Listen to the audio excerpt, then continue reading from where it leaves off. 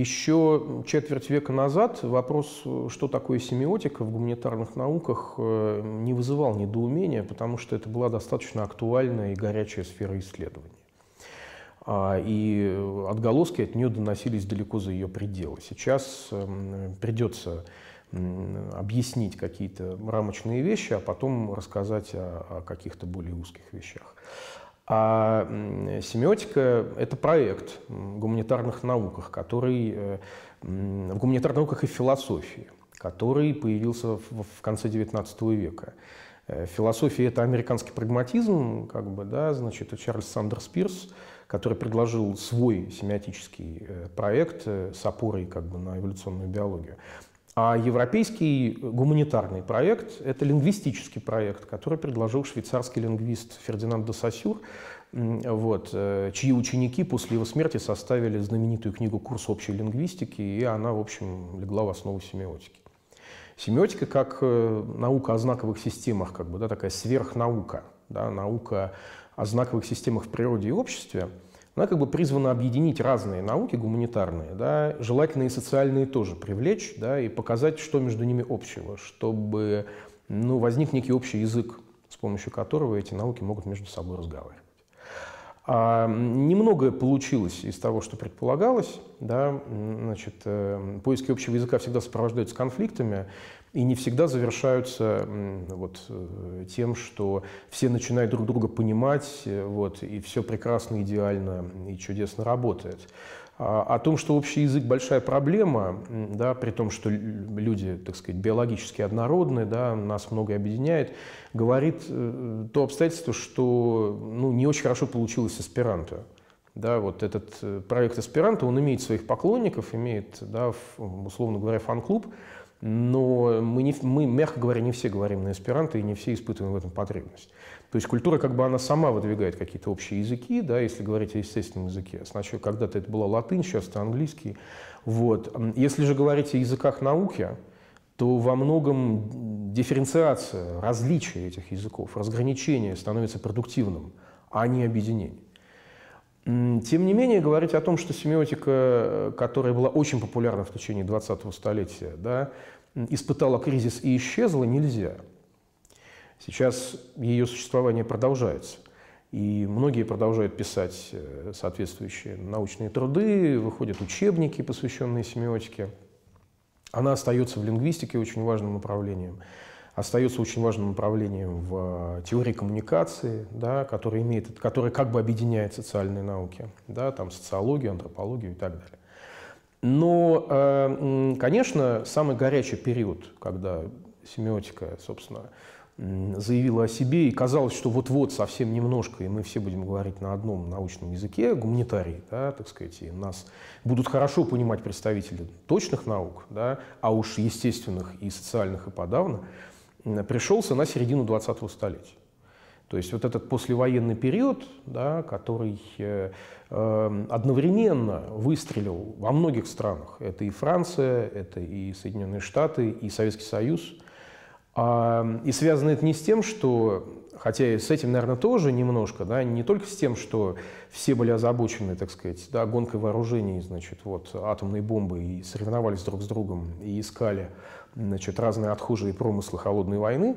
Вот. Но еще и с тем, что существовала такая значит, э, э, утопическая идея, что компьютеры э, да, рано или поздно, уже очень скоро начнут сами переводить да, тексты, а потом и сами их порождать. Да? И вот эта вот идея искусственного интеллекта да, и, так сказать, компьютерного порождения текста – она во многом и стала стратегической причиной успеха семиотики. Почему в нее стали, на нее стали обращать внимание, вкладывать деньги и так далее. Я уже сказал, что это отхожий промысел холодной войны, так сказать. Да, атомная бомба – это ядро, да, а на периферии вот, значит, э, автоматизация процесса порождения пропагандистского текста, например. Да, значит, вот. Это очень эффективно. В действительности, конечно, исследования, которые происходили, да, и, в общем, семиотика, которая в итоге получилась, она вот к этому, э, так сказать, стратегическому проекту прямого отношения не имела. И в советском э, изводе, в советском измерении э, семиотика в основном развивалась как расширенная лингвистика, да, как лингвистика, которая пытается распространить себя, свои правила, свои системные принципы на, так сказать, смежные науки. На, на историю и теорию литературы, на, ну, собственно, на историю, да, на исторические науки, на искусствознание, да, а, на художественную критику в том числе, на способы анализа картины, там, да, скульптуры и так далее.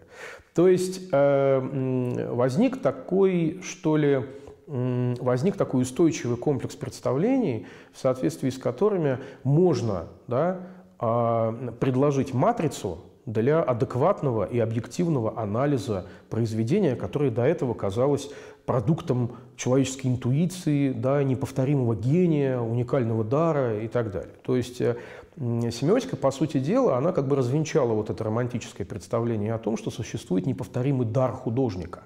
Да. Есть технология, есть определенные способы порождения высказываний. Да, высказывание может быть как на образном языке, так и на естественном языке. И если мы владеем, так сказать, да, технологией анализа да, вот этого способа порождения этих высказываний, то, в общем-то, культ гения развенчивается, искусство превращается в, да, в определенного рода системную деятельность. Это, конечно, скучновато, ну вот, на первый взгляд. Но, с другой стороны, избавляет, вот, знаете, от этого мифологического такого пульсирующего ореола, в соответствии с которым художник – это что-то исключительное. Да? Вот, вот этот романтический да, комплекс представлений, он, в общем-то, сильно пошатнулся благодаря семиотике. А во второй половине 60-х годов да, уже можно говорить о том, что вся относительно передовая теоретическая мысль да, в гуманитарных науках в Советском Союзе, да, она так или иначе связана с семиотикой. Либо она за семиотику, всячески ее поддерживает да, и выступает да, значит, адептами, представители да, гуманитарных выступают адептами, либо против Потому что официальная идеологизированная гуманитарная наука в СССР, что история, там, да, что социология, ну вот, и тем более там какая-нибудь история литературы, в общем, да, служанка режима, вот, э, они вынуждены были реагировать на этот вызов.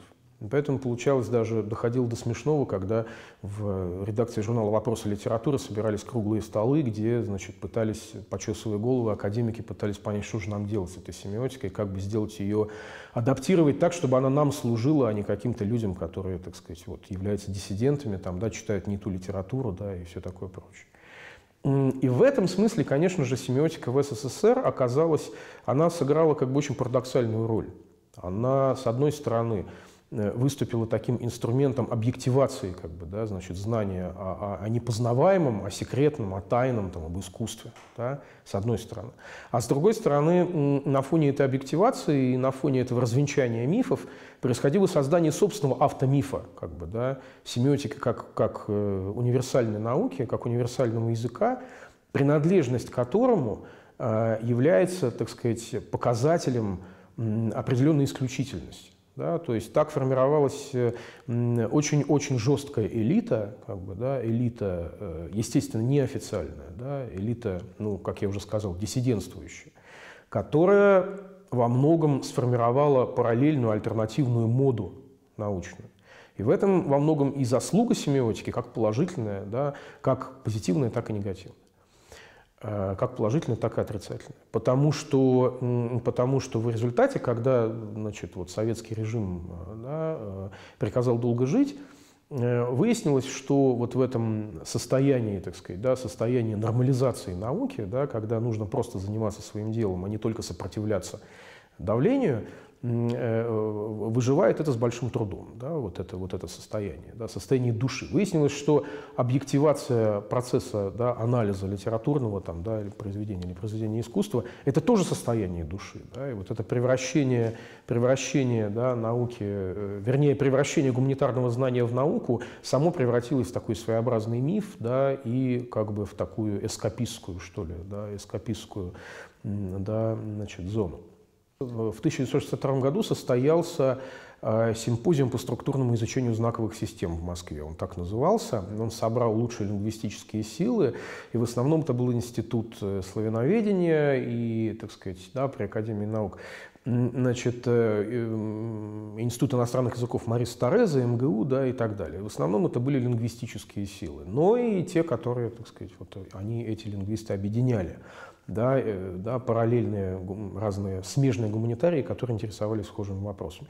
Среди них э, э, был, в частности, а, Юрий Михайлович Лотман из Тарту, да, который, которому в итоге суждено было стать одним из важнейших ролевых вот этого семиотического процесса в СССР.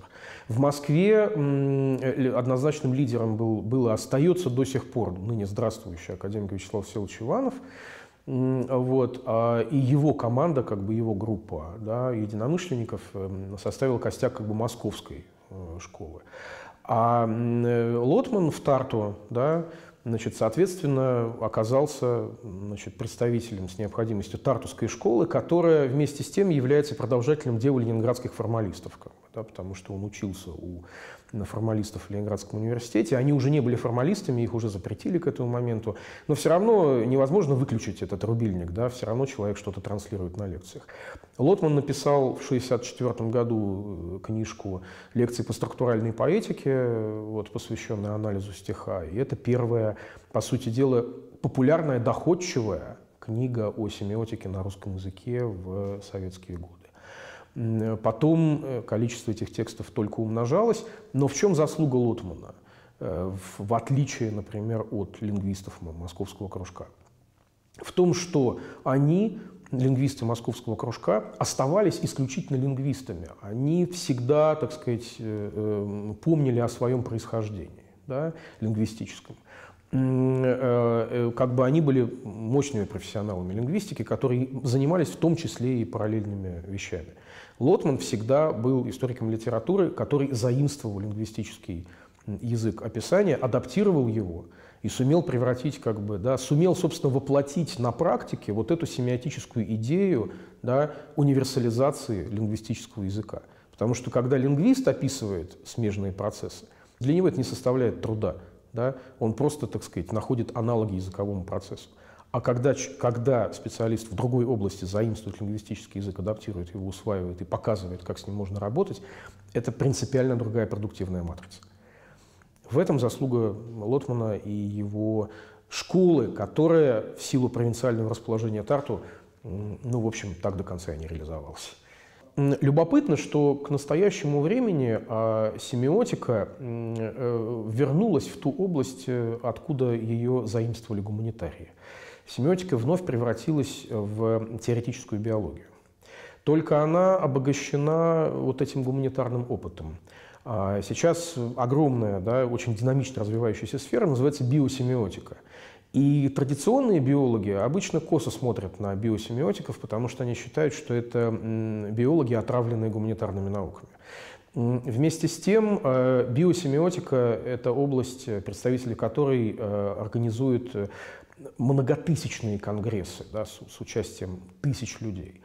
А, это динамично развивающаяся сфера, и она, как представляется, очень интересна в контексте появления новых вызовов, но появления а, новых форм жизни.